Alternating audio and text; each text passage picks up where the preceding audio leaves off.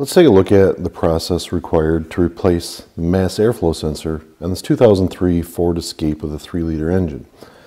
Now today I'm going to install a brand new mass airflow sensor.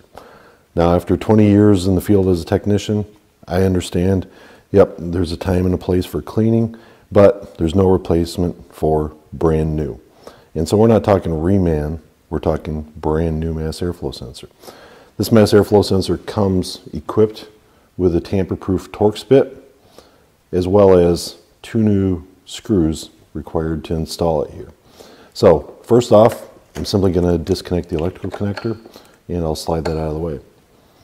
Then I'm going to take my uh, nut driver tool here and I will take the equipped piece and simply remove the two hold down screws as it bolts it into the plastic housing. Once those are removed, I can pick up my old mass airflow sensor and get it out of the way. We also want to look for any debris or signs of damage inside of there.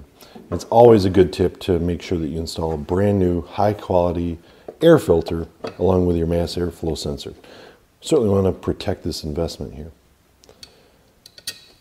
Once I drop it in the hole, I will take the two equipped screws that come with the new sensor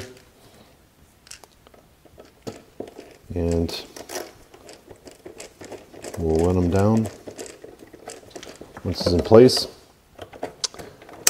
make my electrical connection and just like that, you can see we've replaced the mass airflow sensor. Now I want to go in and replace any trouble codes and also on a Ford reset the keep alive memory or the KAM. This is going to clear out the fuel trims and erase any bad behaviors that the control module may have learned with the faulty mass airflow sensor.